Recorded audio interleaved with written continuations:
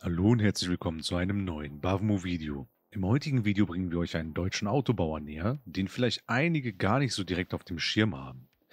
Es gibt auch manche, die denken, es handele sich hierbei nur um einen Tuner, was komplett falsch ist. Denn seit 1981 ist es ein vom Kraftfahrbundesamt anerkannter Autobauer.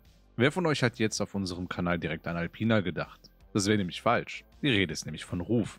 Nun ab zum Video.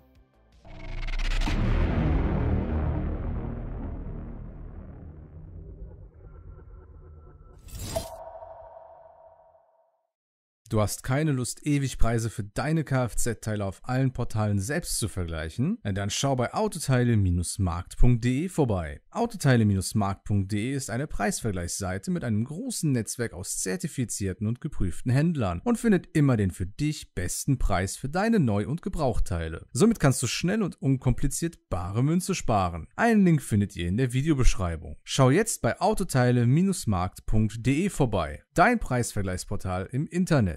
Das Unternehmen Ruf begann als Kfz-Betrieb im Jahre 1939, welches Alois Ruf Senior gründete. In dieser Werkstatt krabbelte auch sein Sohn Alois Ruf Junior bereits umher. Hierzu sagte er in einem Interview mit TheHiddenChampion.de, Einmal fiel ich ins Altölfass, wurde herausgezogen und so meiner Mutter präsentiert. Das war also meine Taufe.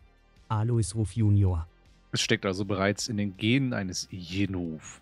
In der Traumfabrik für Erwachsene entstehen bis heute Meisterwerke, welche mit maßgebender Leistung, überragendem Handling und exzellenter Bremsanlage handwerkliche Kunstwerke darstellen, welches jeden motorisierten Wunsch in Erfüllung gehen lassen. Setzen wir die Reise in die Vergangenheit nun in den 70er Jahren an. Die bereits genannte Kfz-Werkstatt hat über viele Jahre Erfahrung mit Porsche-Modellen sammeln können und diese Expertise in den ersten Ruf-Prototypen einfließen lassen, den Ruf Turbo. Hierzu nahm man sich einen 911 Turbo als Basis mit 3 Litern Hubraum und 260 PS und erweiterte dessen Leistung auf 303 PS mit 3,3 Litern Hubraum. Im Jahr 1981 war es dann soweit. Ruf wurde vom Kraftfahrbundesamt offiziell als Automobilhersteller anerkannt und erhielt somit auch eine komplett eigene Fahrgestellnummer. Ein Ruf ist somit immer ein waschechter Ruf. Ab 1983 baute Ruf dann auf Kundenwunsch Porsche 911 zum Ruf BTR um.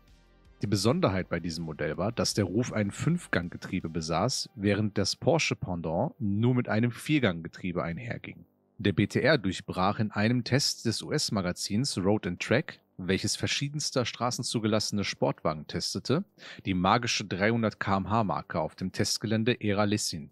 Im Jahr 1987 erblickte der legendäre Yellowbird, ein Ruf CTR mit Biturbo-Aufladung und 469 PS, das Licht der Welt. Der CTR war mit einer Höchstgeschwindigkeit von bis zu 342 km/h das schnellste straßenzugelassene Fahrzeug der Welt. Man bemerkt anhand der Modellpalette, dass sich hier schon ein roter Faden erkennen lässt, in welche Richtung Ruf mit seinen Automobilen gehen möchte und wie wir heute wissen auch sehr erfolgreich gegangen ist. Der Clou an Ruf ist auch, dass es keinen Wunsch gibt, der hier nicht abgeschlagen wird. Die Individualisierung spielt hier eine sehr große Rolle in der Markenphilosophie. Dazu ein kleiner Ausschnitt aus einem Interview vom Audin Verlag mit Alois Ruf, um dieses nochmal zu verbildlichen. Also bei diesem Fahrzeug handelt es sich um einen 1973er Chassis. Aus diesem Chassis haben wir jetzt einen Traumwagen gebaut, so wie der Kunde haben möchte, nämlich eine Replika, einen Nachbau von einem RSR. Und noch wesentlich mehr, also wir haben ein paar Modernisierungen. Das Auto bekommt sogar ein Sechsganggetriebe, was es damals nicht gegeben hat. Und insofern nennen wir sowas SPS, Sports Purpose Specifications, also genau nach dem Wunsch, maßgeschneidert für den Kunden. Springen wir nochmal etwas weiter vor in das Jahr 2008. Die Umwelt und das Klima werden für immer mehr Menschen ein wichtiges Thema. Und auch die Politik übt auf Autobauer mit immer strengeren Abgaswerten Druck aus. Ruf erkannte, dass auch Sportwagenenthusiasten sich auch bald diese Frage stellen müssen, ob die Leidenschaft mit der Umwelt vereinbar ist. Die Antwort auf all diese Fragen war der E-Ruf, der erste elektrisch angetriebene Sportwagen aus Deutschland. Beim ersten war die Basis ein Porsche 911, der einen 150 kW Elektromotor direkt ans Getriebe angeflanscht bekommen hat und Reichweiten von über 300 Kilometern erzielen konnte. Es kamen auch weitere Nachfolgermodelle mit mehr Leistung und auch in Zusammenarbeit mit Siemens. Doch jetzt kommt mein persönlicher Lieblingsmove von Ruf. Im Jahr 2017 stellte Ruf den CTR Anniversary vor. Optisch angelehnt an den CTR Yellowbird aus den 80er Jahren, welcher in der Mitte des Videos bereits erwähnt wurde. Ein Oldschool-Ruf mit neuer Technik, das Beste aus beiden Welten.